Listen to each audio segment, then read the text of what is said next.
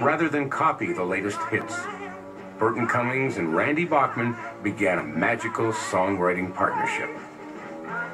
We started writing in all different formats. Didn't matter who had the idea or whatever. We were in a way becoming Lennon and McCartney, Jagger and Richards, the guys we idolized. Their first hit has been played on North American radio stations more than two million times.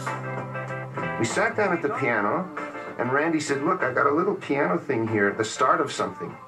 Uh, what do you think of this? And he sat down, and, and Randy Bachman sat down and played this.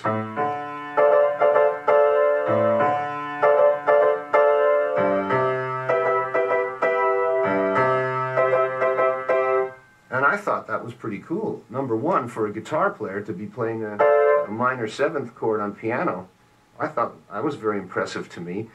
And he also had the first couple lines. I think he, he sang, These eyes cry every night for you. Or that far, maybe he just sang, These eyes cry every night for you. Anyway, Randy had the thing started. And I thought, wow, that's pretty good, man. I like the piano riff. And he, you know, showed me that and he taught me and I learned how to play.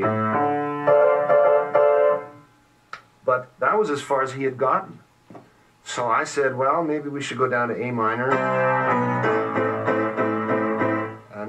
I don't know, it just, we started trading little pieces here and there, and we had the thing built in about 25 minutes. It was done.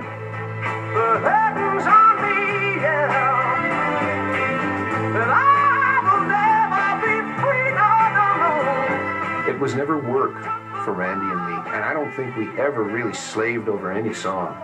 Laughing was about 20 minutes, 25 minutes. We were sitting on our old highway bus waiting for the ferry to take us over to Vancouver Island from Vancouver.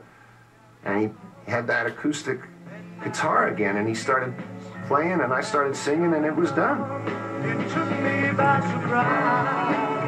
A string of unforgettable songs put the Guess Who firmly in music's major league.